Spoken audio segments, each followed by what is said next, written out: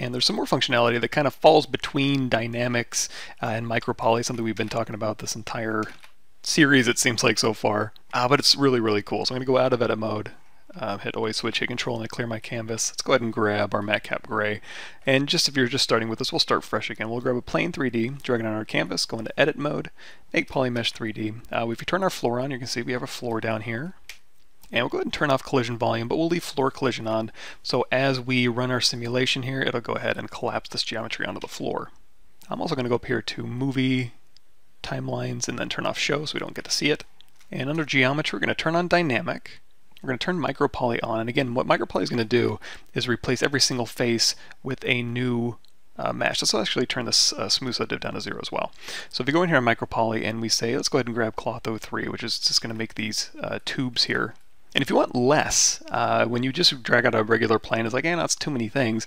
You can always go in here to reconstruct, and that'll actually, if we turn micropoly off, uh, and turn polyframe back on, and let's go ahead and turn on Skin Shader 4 so you can see a little bit better. As I hit re reconstruct, it's going to reconstruct all the way back down to a plane. So now you can go through here and you can kind of pick exactly where you want your geometry uh, to be. So I think this will be enough. So we'll go ahead and say delete higher, delete lower, and now we're just have this geometry here. So again, we can turn micropoly on, and it's putting an instance of this onto our micropoly, and it's useful for like doing tubes and stuff for sure.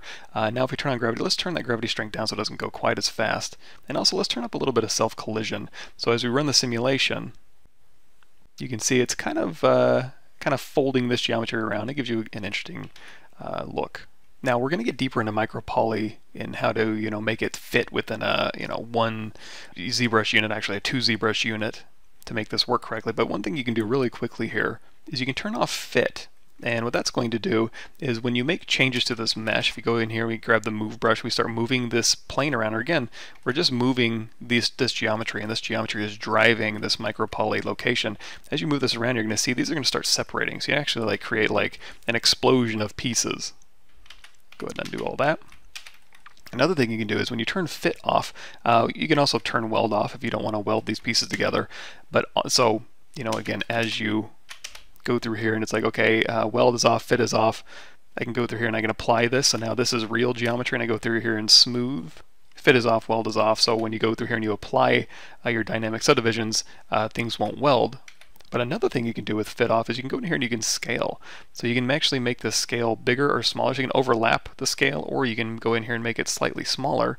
Uh, if you also just tap on any slider, um, or most sliders in ZBrush I should say, there will be a smaller slider up here at the top that will allow you to make uh, smaller adjustments. Now unfortunately you kind of have to go through here and tap uh, to get it to update doesn't really update on the fly necessarily, uh, at least as of this recording.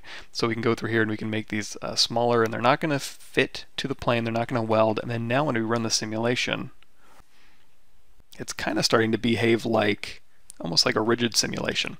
Here's another thing you can do. Underneath geometry, modify topology, let's go and turn micropoly off.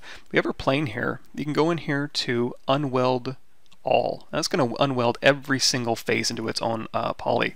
So we can go in here, uh, again, gravity's on, self-collision's up. Let's just turn that to 1. And then let's turn firmness down to 2 maybe. And we're going to run that simulation. And now because we had self-collision on, it was touching each other, they kind of explode apart. But now what they're going to do is just kind of settle on the floor as individual planes. And if you have self-collision off, they're not going to see each other and they're just going to fall straight down uh, to the ground and eventually just kind of collapse over. It's kind of a cool simulation.